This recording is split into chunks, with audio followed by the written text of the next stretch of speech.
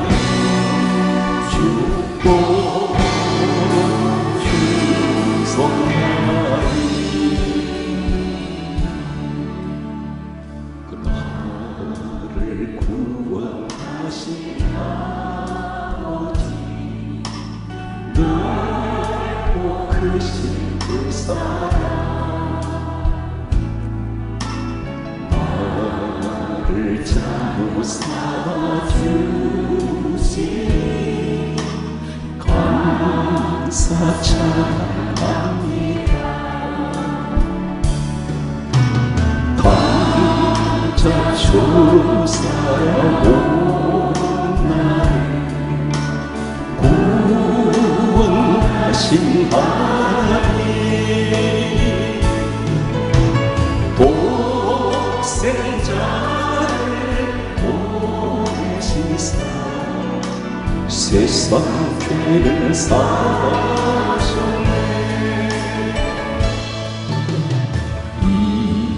이제 무엇으로 바꾸리라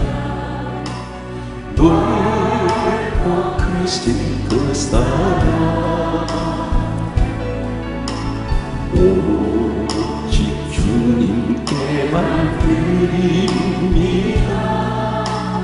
이온 받아주소서. 나를 구원하신 예수. 마음을 나를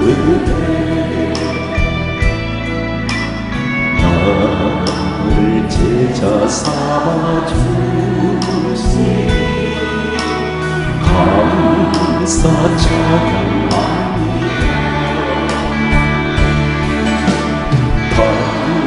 반자처럼 살아온나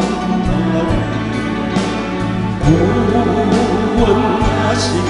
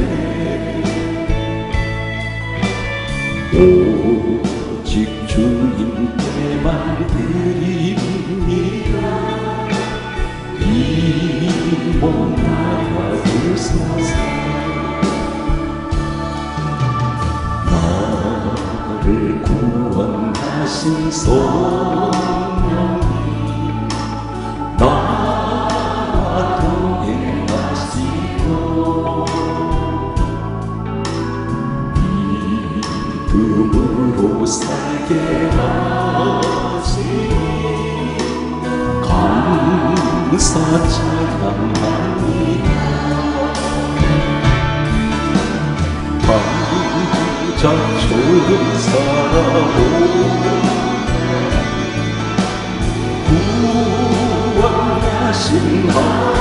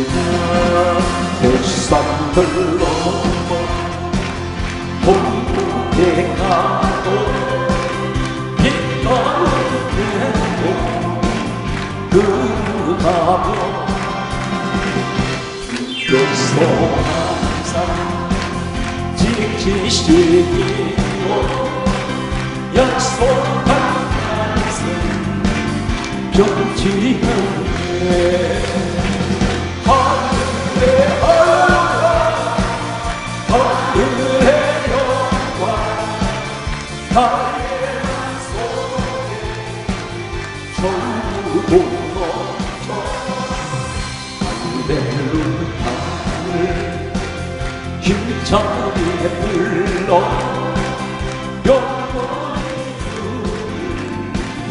찬양하니 캄캄한 밤에 밤이 지나고 주객선하게 길을 쉬고 너에게 하는 빛이 되시니 없는 용녀 하늘에 하여 하늘의 영광 나의 마음속에 넘쳐 할렐루야 힘차 게 불러 영원히 찬양하리 완벽한 만내 바다 영광 바라보고 할렐루야 를 힘차게 불러. 날아있지. 걸어가리. 하늘의 영광 하늘의 영광 나의 맘속에 자유도 넘쳐 할렐루야를 힘차게 불러. 영원히 주를 찬양하리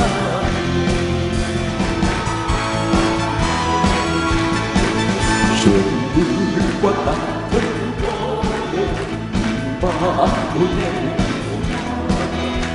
이죄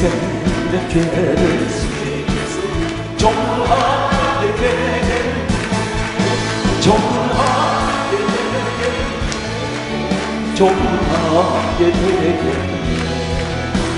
이 생의 죄를 씻어 정하게 되게 좋고 좋게 해하고서 이 생의 씻어 좋고 적하던 이몸 죄심이 원하네 죄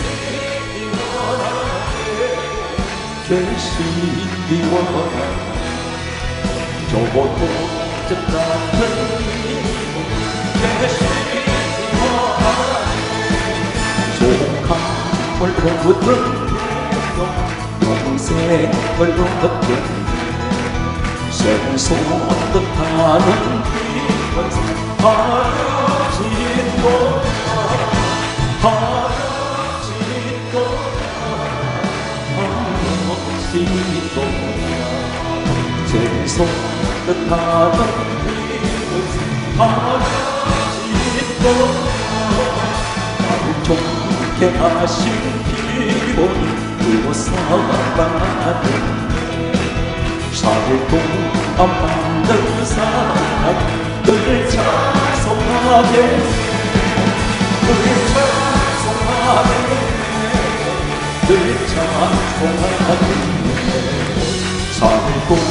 사랑을 찬송하게 미국의 전부를 오고토 노래로 나를 은혜에 늘 찬송하게 늘 찬송하게 늘 찬송하게. 나를 구속 하신 은혜에 늘 찬송하게 예수 십자가에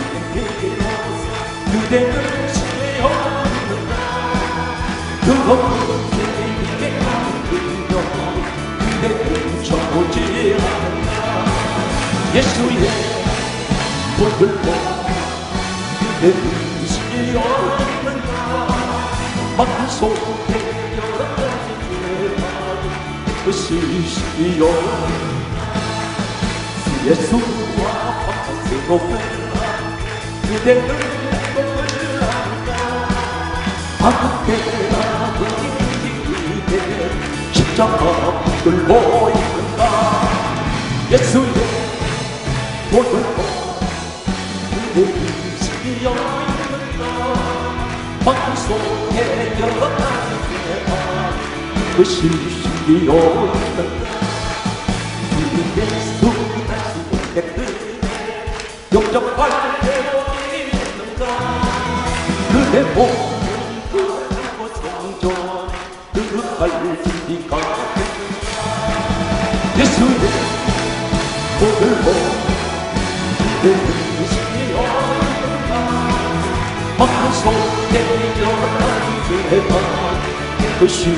기요.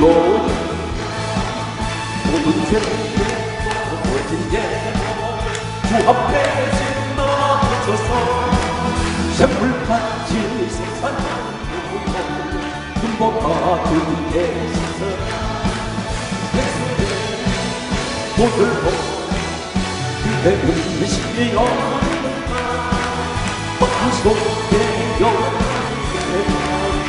기요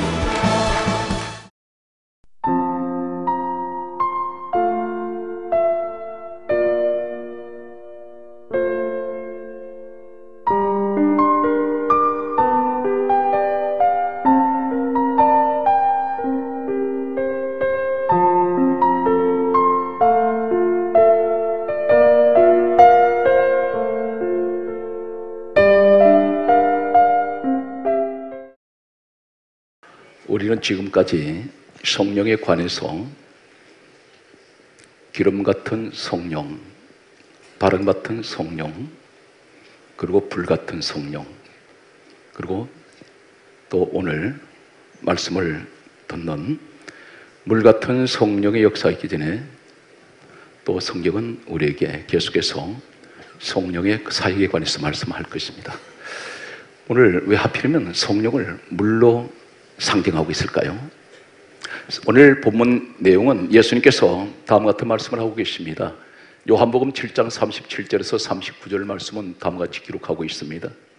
누구든지 목마르거든 내게로 와서 마시라. 목이 마른 인생들 내 앞으로 오라고 말씀합니다.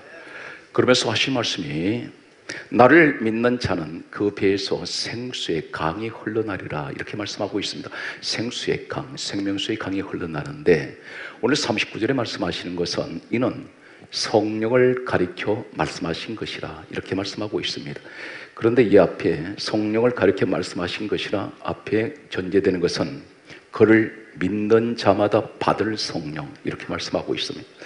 오늘 누구든지 예수 그리스도를 믿는다면 반드시 성령을 받아야 합니다. 이 시대는 갈증의 시대입니다. 인생이 대단히 목마릅니다.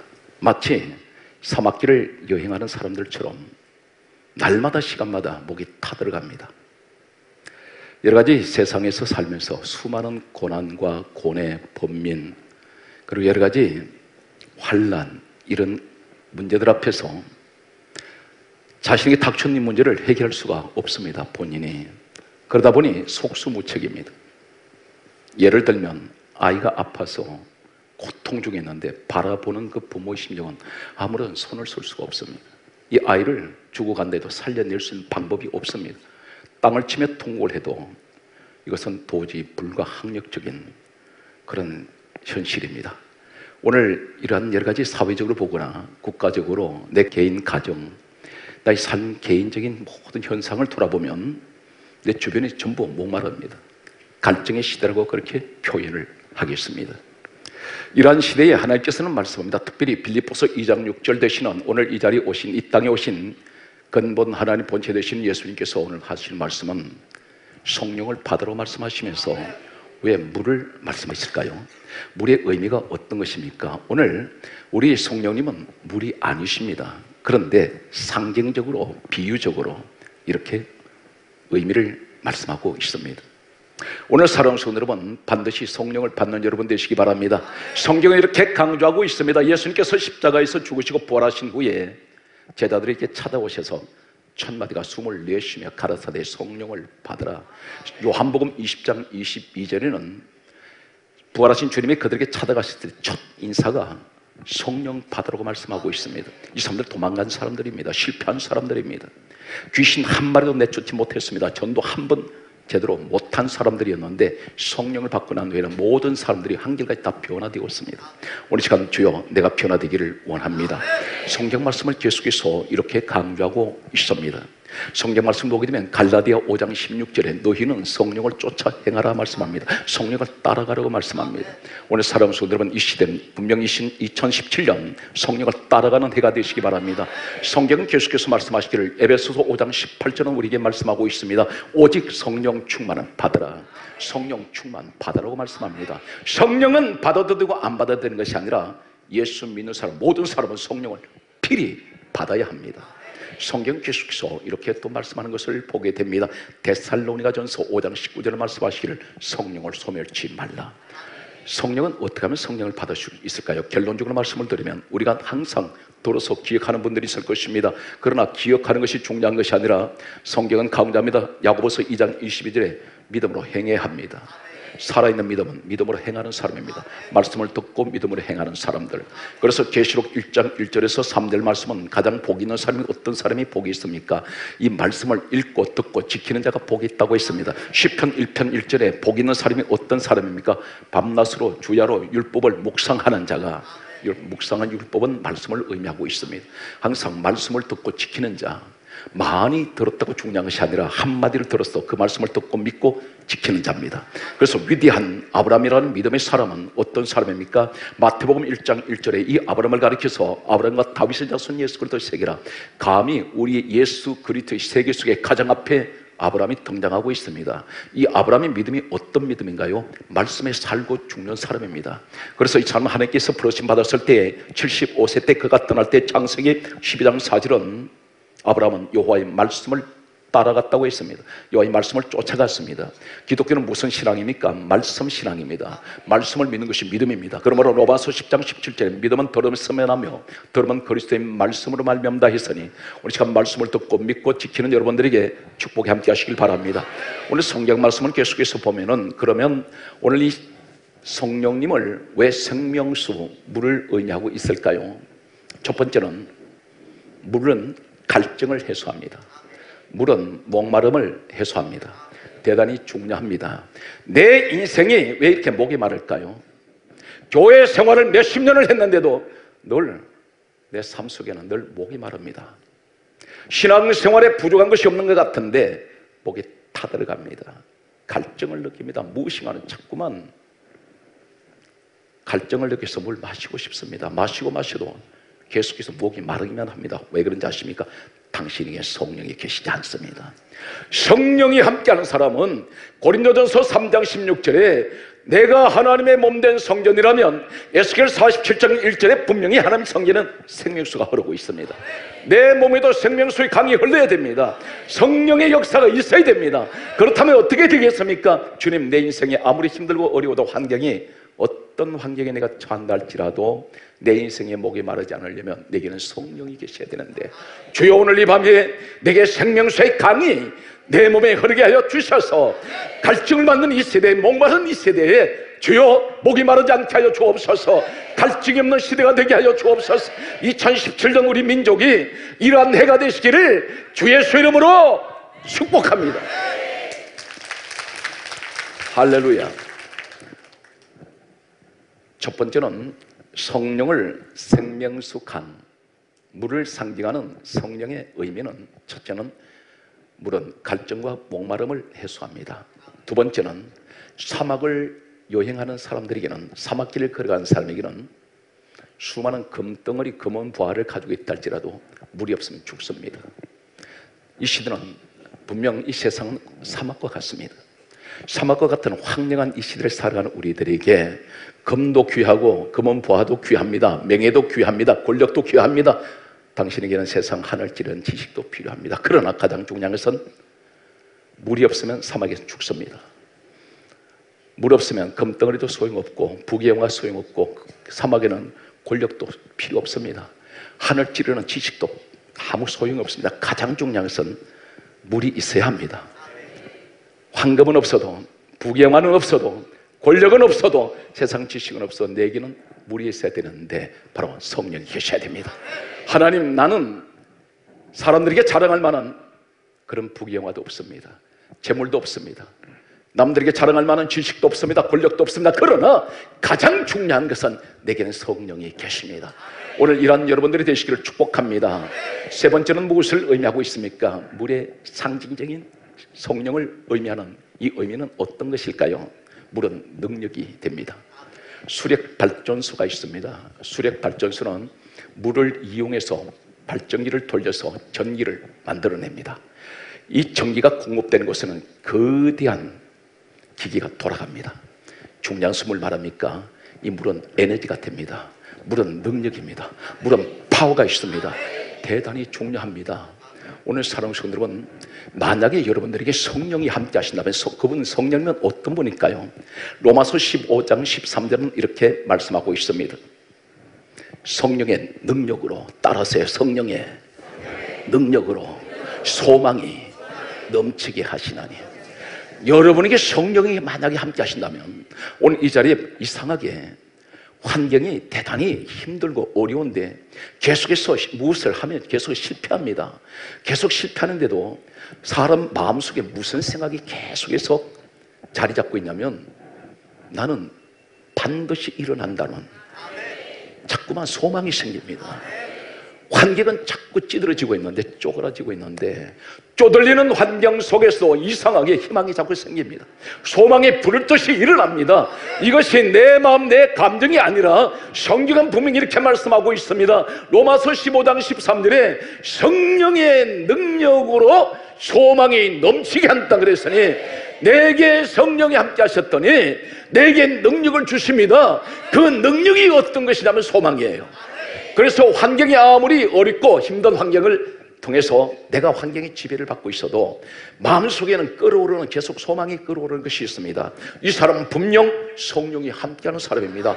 좌절하지 마시기 바랍니다. 그래서 날마다 힘들고 어려운 환경에서 하나님 나는 좌절하지 않습니다. 그러기 위해서는 어떻게 되겠습니까? 성령님 나와 함께 해주세요. 성령님이 나와 함께하면 내게 소망이 불듯이 일어나게 하여 주시고 주여 이 민족 위에 하나님이 성령의 역사가 임하여 주셔서 이 온 민족의 성령이 완전히 덮어주셔서 성령 충만한 민족 되게 해주셔서 소망이 넘치게 해주시는 2017년에 되도록 주여 축복해 주옵소서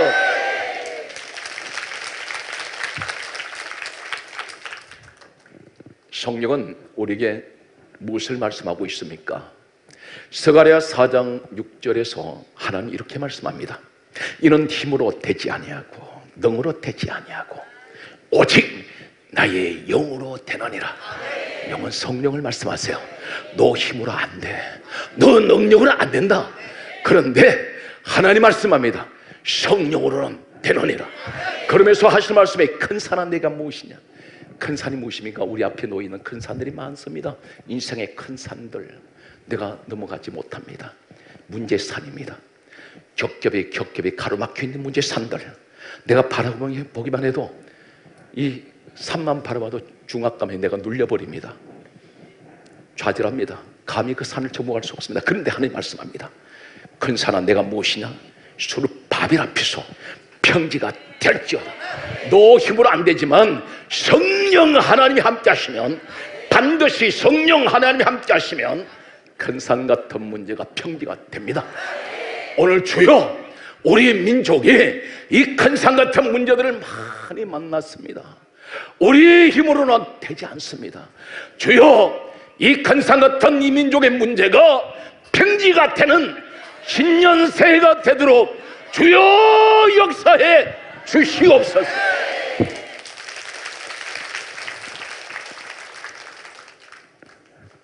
우리는 말씀을 통해서 이 말씀을 잘 기억합니다. 사도행전 3장 6절에 보게 되면 일어나지 못하던 나면서 일어나지 못하던 한 사람이 있습니다. 이 사람이 40여 년 동안 못 일어났습니다. 성경은 이 사람 나이를 40여 세라고 했습니다. 태어나면서부터 못 일어납니다. 그런데 우리 삶 속에 일어나지 못하는 것들이 있습니다. 내가 태어나면서부터 일어나지 못합니다. 가난이 계속해서 나를 주장기 만들고 있습니다. 많은 꿈을 가지고 있는데 조- 머리도 참 좋은데 뛰어난 두뇌, 명석한 두뇌를 가지고 있는데도 내 가정은 태어나면서부터 보니 너무나 힘든 가난한 생활이었습니다. 꿈을 펼칠 수가 없습니다. 그런데 오늘 우리 성령님이 함께 하시면 베드로 요한은 성령 받았습니다. 그래서 이렇게 말합니다. 나사렛 예수 그리스도 이름으로 명하노니 일어나 일어나 일어나 그를 지어다 할렐루야 일어날 수 있습니다. 바로 이것이 예수 그리스도의 믿음이에요.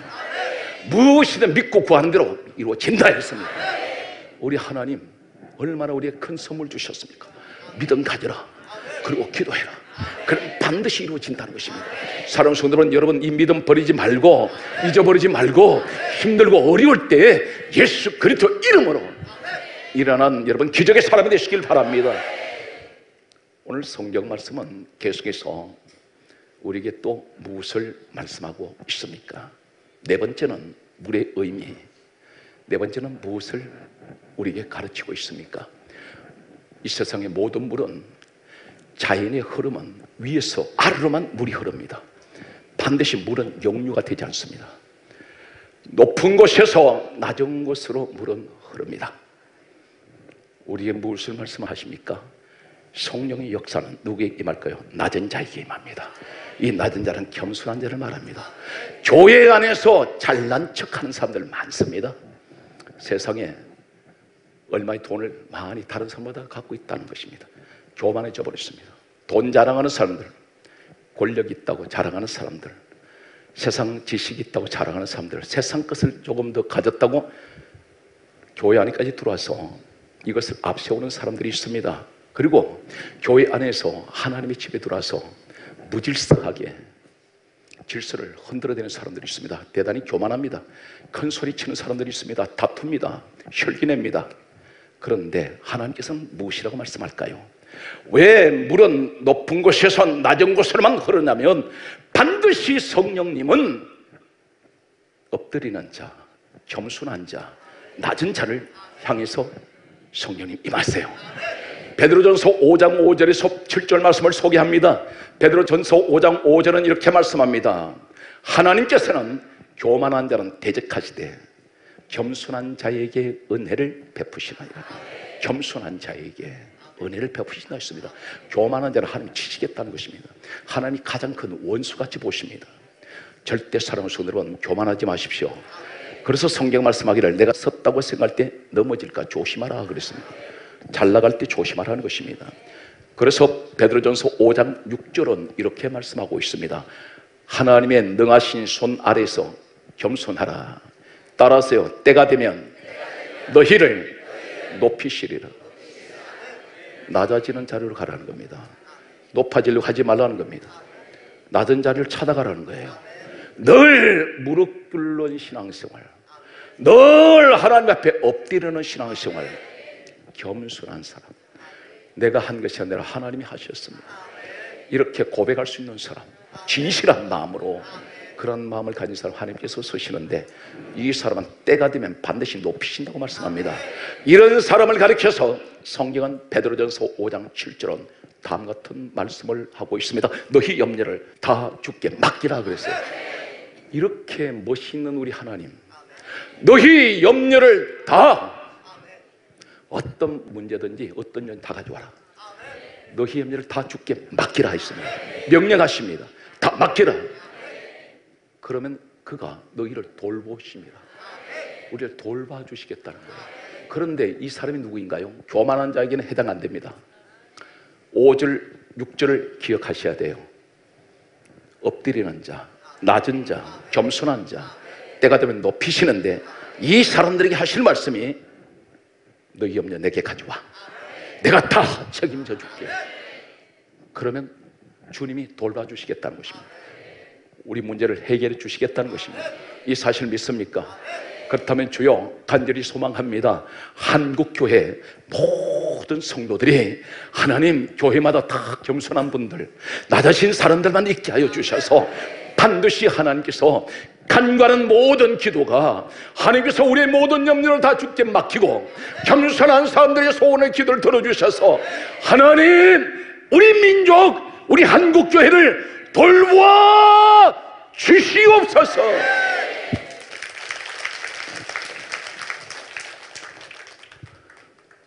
여러분 벼락 칠 때 한 여덟 가지 의미가 있어요. 벼락을 맞지 않으려면 이것을 꼭 기억해야 됩니다. 그 가운데 중요한 것은 벼락을 맞지 않으려면 벼락 칠 때 가장 낮은 곳으로 내려가야 돼요.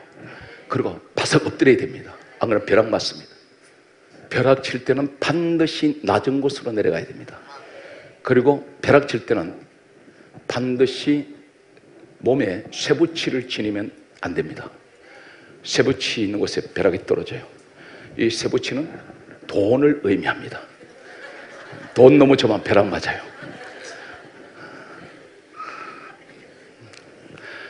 그리고 벼락 칠 때는 길거리를 헤매고 다니면 안 돼. 집안에만 있어야 됩니다. 그 집이 복음적으로 교회예요. 다섯 번째는 물은 더러운 것을 씻어냅니다.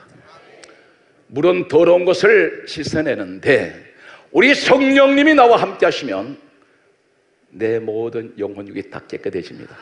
왜 그럴까요? 성경은 이렇게 말씀하고 있습니다. 베드로전서 1장 2절 말씀을 보면 성령님은 거룩하신 분입니다. 성령님은 깨끗하세요. 성령님은 성결하십니다. 내게 성령이 임하시면 나 더러운 걸 다 씻겨내요. 더러운 것들이 없어져 버리고 깨끗해지고 순결해집니다. 오늘 이러한 여러분들이 되시기를 바랍니다. 여섯 번째는 물의 의미는 어떤 것을 의미할까요? 왜 성령을 물로 비유하고 있습니까? 물은 모든 것을 다 살립니다. 사막에 물만 흐르면 오곡 백화가 다 살아날 수가 있고 자랄 수 있습니다. 물이 있는 곳에는 모든 식물들이 다 자라납니다. 오늘 그렇다면 성령이 계신 곳에는 죽어가는 모든 것들을 다 살릴 수가 있습니다. 일곱 번째는 물은 어떤 것이 또 의미가 있을까요? 이 온 세상에 모든 사람들은 인종이 다르고 민족이 다르고 국가가 다르고 언어가 다르고 이념 사상이 다 달라도 어떤 빈부의 격차가 있다 할지라도 가장 중요한 것은 나이 상관없이 이 지구상에 지금 현존하는 모든 사람들은 물은 절대적으로 필수적으로 반드시 있어야 됩니다. 한 사람도 물이 없으면 살 수가 없어요. 우리 인체는 약 70% 이상이 수분으로 되어 있습니다. 물을 섭취하지 않으면 사람은 죽습니다. 오늘 그러므로 물은 절대적으로 우리에게 생명과 같습니다. 오늘 이 사실 믿는 여러분에게 오늘 성령 역사가 함께 하실 줄 저는 확신합니다. 할렐루야. 계속해서 일곱 번째는 우리에게 무엇을 말씀하고 있습니까? 물은 우리에게 생명입니다. 성경 로마서 8장 2절에 따라하십시오. 생명의 성령. 생명은 우리 성령님을 말씀하세요. 오늘 여러분들이 성령이 나와 함께하지 않은 상태에서 기도해 보십시오. 5분 못 넘깁니다. 성령님이 계시지 않는 상태에서 예배 드리면 예배가 대단히 지루하고 예배가 전혀 흥미가 없습니다. 그런데 성령님이 나와 함께할 때는 예배를 날마다 즐거워합니다. 성령님이 나와 함께할 때는 기도 시간이 한 시간, 두 시간, 세 시간이 흘러도 지루할 줄 모릅니다.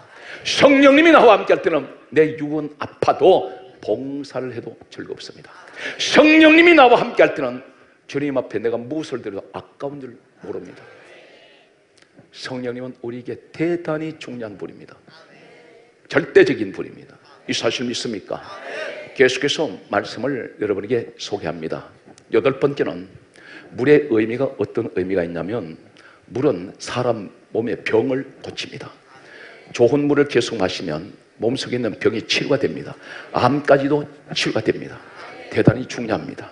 오늘 성경은 이렇게 강조하고 있습니다. 고린도전서 12장 성경은 9절 말씀 보게 되면 성령님의 아홉 가지 은사 가운데 지혜 말씀, 지식의 말씀, 그리고 믿음 네 번째가 병 고치는 은사가 옵니다. 여러분 성령이 내게 임하시면 내게 병 고치는 은사를 주세요. 따라하세요. 나사렛 예수 이름으로 명하노니 더러운 질병은 깨끗하게 치료될지어다.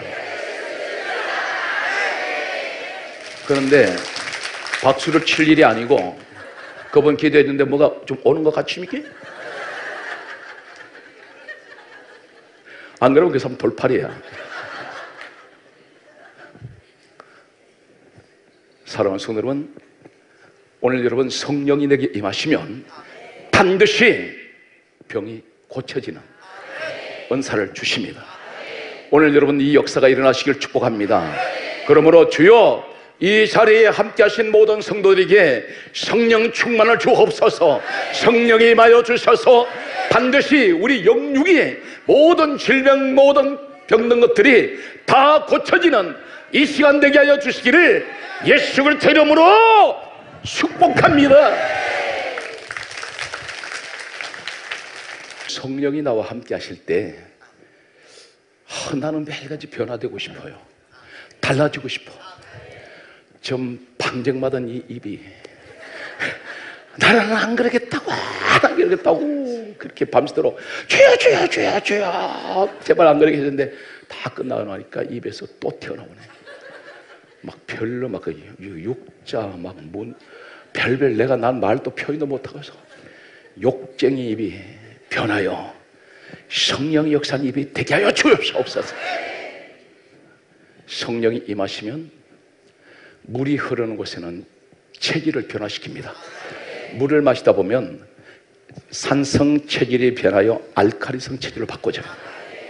피도 맑아집니다. 과연 그럴까요? 사무엘상 10장 6절은 이렇게 말씀하고 있습니다. 여호와의 영이 내게 크게 임하리니 내가 변하여 새 사람이 되리라. 내가 변한다는 거예요. 내 모든 못된 것들이 변할 수 있습니다. 언제 성령님이 나와 함께하면 나를 완전히 컨트롤하세요.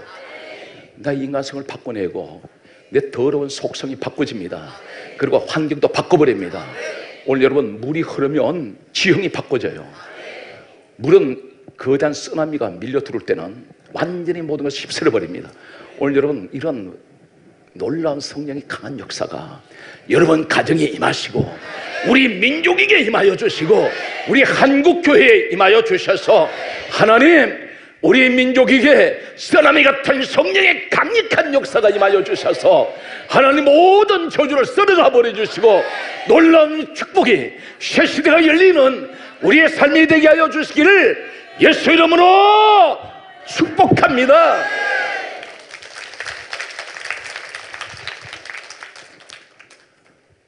여쭤보겠습니다. 물은 어디서 내립니까? 따라서 하늘에서 내려옵니다.